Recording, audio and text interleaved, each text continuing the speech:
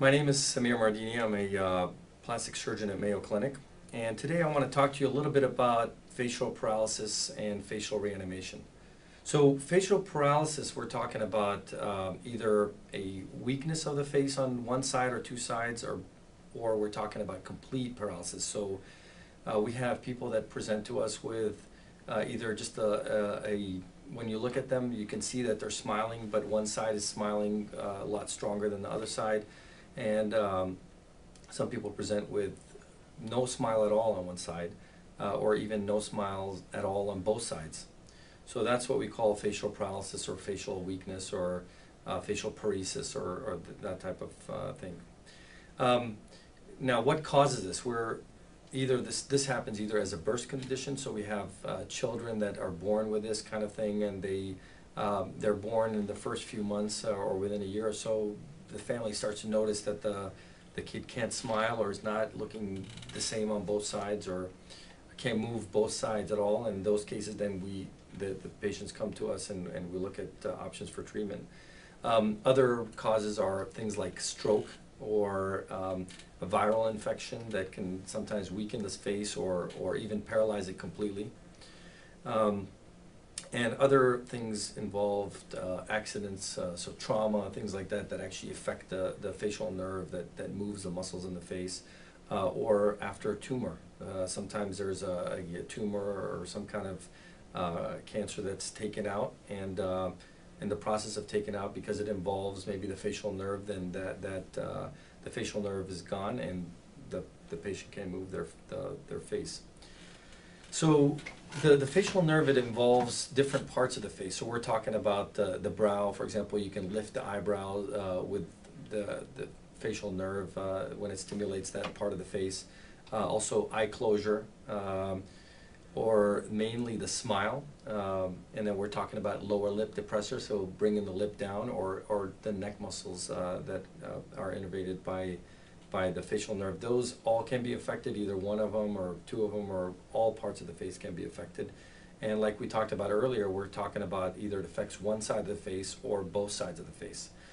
Um, either way, this is really a devastating problem for the people who have this because uh, you know you could be someone walking around with a normal smile and the next day you wake up and there's something wrong or or if your child has this I mean it's a big deal uh, but the good news is that for almost all types of patients and all ages, uh, we have a way to treat this, and, and often the results are really awesome.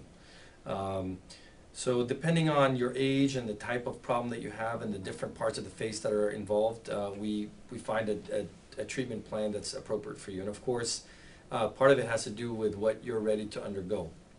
Um, so there are, there are things that we do that are, that are non-surgical and there are things that we do that are surgical.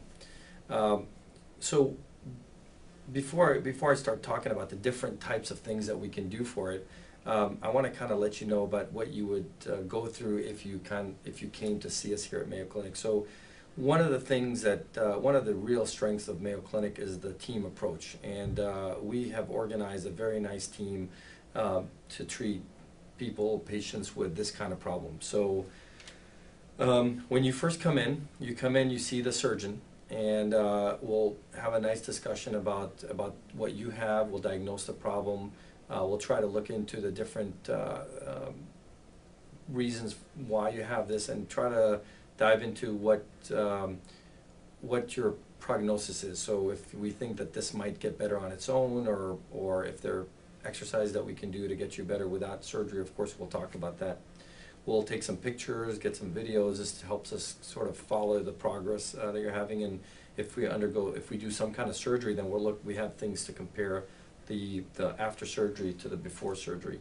Um, and then and then we send you to our physical therapist. We have a we have a, a physical therapist that's heavily involved with our patients, and and what she does is she looks at you and and um, tries to figure out how much movement you have, and uh, if she can work on improving what you have already and to see if the, that can get you to where you want to be. There are tools that she uses like uh, exercises, uh, a muscle stimulator or nerve stimulator. These things, uh, she, what she'll do is she'll work on you while she's with you and then she'll send you home with some sort of um, homework to do at home, basically. But um, and then after the surgery, if we end up doing some kind of surgery, of course, the physical therapist will help us optimize the results of uh, of the surgery.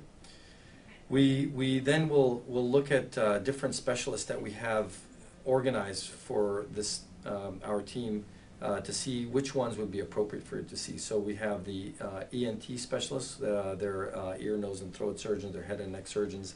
Um, they are experts in, in uh, diseases of the, of the face and facial nerve. And um, when, particularly when the facial nerve is involved closer to the, to the skull and when we have to go uh, deeper into the skull, they, they, uh, they are, we, we, we need their help and they are, uh, they are great at that. Um, we, we then have um, a, uh, issues related to speech and swallow therapy. So some of the some of our patients they end up having issues with their speech and their swallowing, and and we have a therapist that will work with them on that before and after surgery if there's surgery involved. Uh, we then have our ophthalmology team, and the ophthalmologist that uh, sees you because the eye sometimes is involved. Um, the ophthalmologist will assess your eye. They'll kind of look at it and see if there's anything that uh, that's wrong with it. And, uh, and then if there's something that can be done to protect the eye, then they'll be the people that are involved in that. And often they're involved in surgery uh, and doing things, procedures that can help us protect the eye. Uh, we also have a neurologist, and the neurologist, they, uh, because their, their specialty is the nerves, they, and obviously when you have this kind of problem, nerves are affected. Uh, we often ask them to get involved in and kind of looking at the, the future and to see if we think that the nerve, uh, or if they think that the nerve can recover on its own, or how long we need to wait before we start diving into surgical procedures and, and things of that sort. Once we've, once Um, we've had you see the, the appropriate specialist, then the surgeon will meet with you again.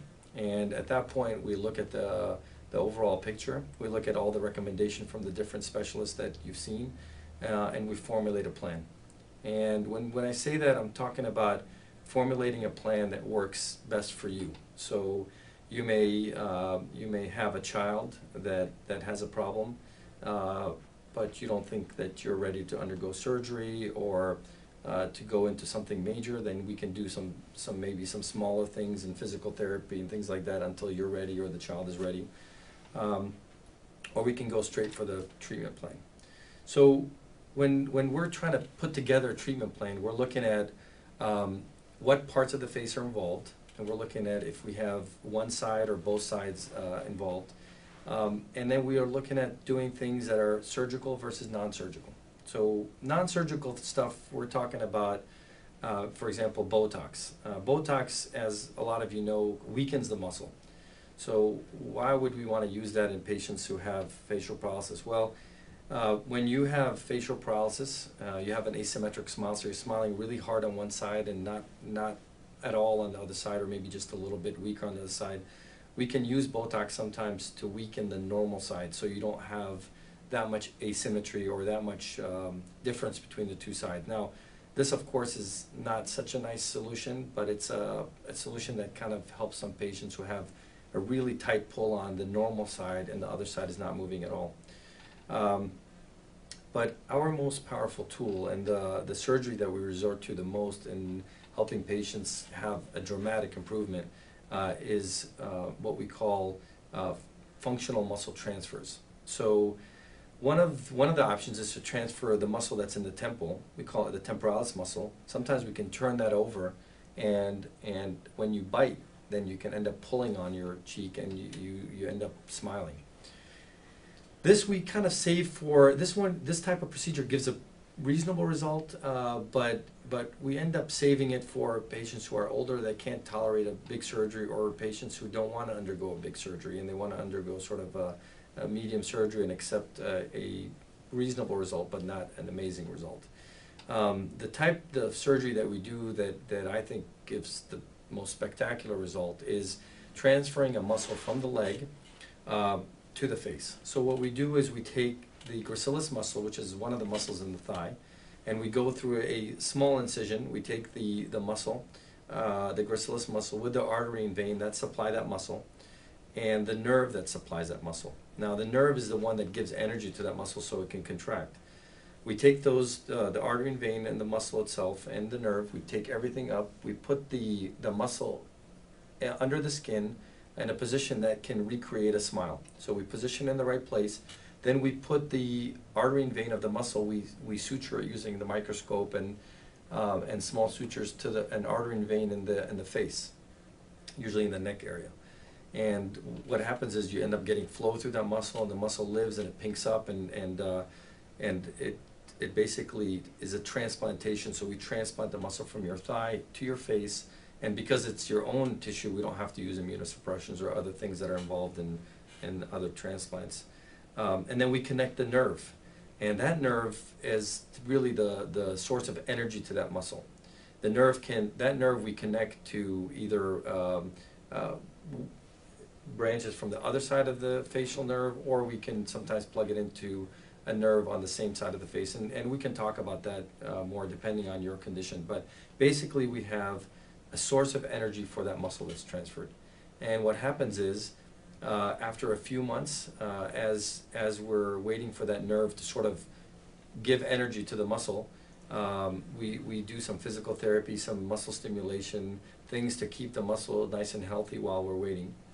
And at about six months or seven months or something along those lines, depending on the on the how long the nerve is, uh, we start to see a, a smile. So the the muscle starts moving a little bit, and the the smile starts developing. And within a few days, you start to see uh, a smile and and and some symmetry in the face. And for people who don't have any movement at all, it's a dramatic difference because you're starting to see uh, instead of one side moving, the other side completely droopy, you're starting to see both sides smile and almost, often almost a perfect result. Uh, and, and that's such a, gratifying feeling for, for the patients or the child or the family and the, and the surgeon as well. And, and that's really, for us at least, that's the joy in, in doing this type of surgery and seeing the, the, the reaction and the dramatic difference between the before and after and the type of um, uh, emotions and feelings that are involved uh, for everybody, the, the whole team that we have here, uh, for the patients, the, the family members, and, and the surgeon. It's, it's quite a traumatic uh, um, feeling.